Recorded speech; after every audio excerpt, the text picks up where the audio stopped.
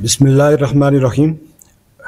Sir, with your permission, uh, Honorable Chief Minister Khyber Pakhtunkhwa, Minister Elementary Education, Minister Livestock, and our esteemed Chairman of Boards, and uh, our beloved students, Assalamu alaikum.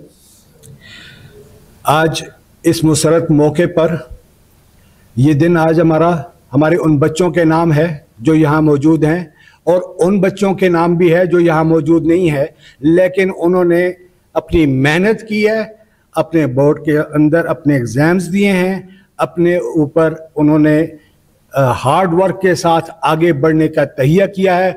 उनके लिए भी मेरा यही पैगाम है कि never lose your hope अगली दफ़ा आप भी हो सकते हैं। आज जो बच्चे आए हैं, इनको दिल की अथाक गहराइयों से मुबारकबाद।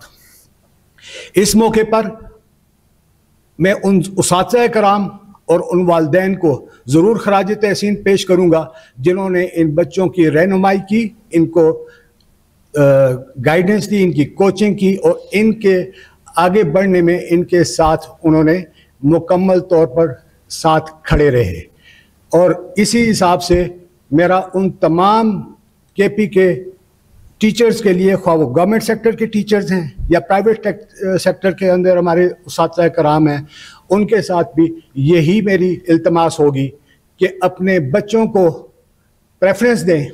ये वो बच्चे हैं जो आज हमारे पास, जो ग्रेड वन में बच्चा आ रहा है, बारह साल बाद उसने स्कूल से निकल जाना है, उसमें कम अज़ कम तीन खसूसियात ज़रूर होनी चाहिए।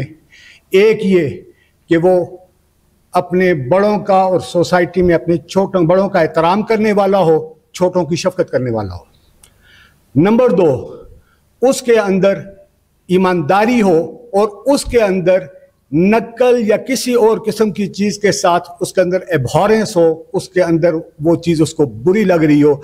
यकीन करें, अगर मेरे उस कराम मेरा महकमा और हमारे सारे जो वालदेन और हम सोसाइटी, सिर्फ़ अगले बारह साल ये कर लें तो इस कौम को दुनिया में तरक्की से कोई नहीं रोक सकता। और मुझे यकीन है कि आज के ये जो बच्चे सामने आए हैं, ये उसके लिए मिसाल हैं। और इसी तरीके से सारे वो इस लाइन पे आए तो यकीनी तौर पर ये हमारे लिए अचीवमेंट होगी।